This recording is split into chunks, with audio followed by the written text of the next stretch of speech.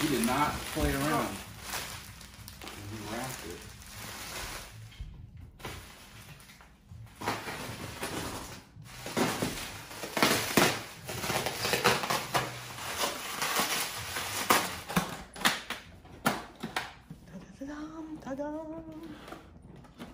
Oh my.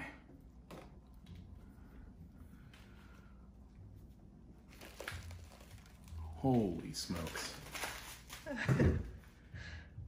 This is the lightest non semi hollow bass instrument I've ever picked up, really. I, mean, I think this may give the Pedulla a run for its money. All that I can tell you right now is that I am at an absolute loss for words. the seller scared me a little bit because he didn't put the batteries back in here. They were in the case. Yeah, it's just like buying it brand new from the store.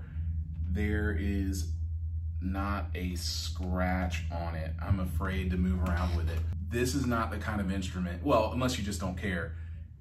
And I kind of feel this way about the Pedulla. These instruments, you don't want to like take them everywhere and get them all banged up on the road.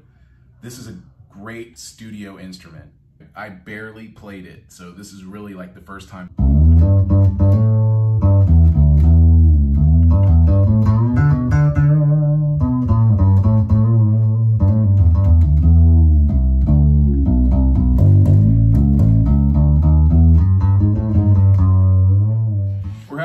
A busy Saturday. We got yard work and stuff to do, so I'm gonna have to cut this short. I really wish I could play it more, but here's what I will do. Um, just let you guys hear the.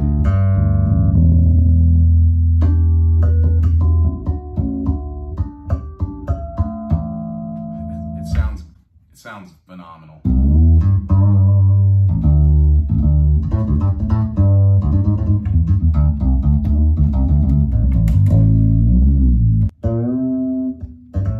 It's got flat wounds.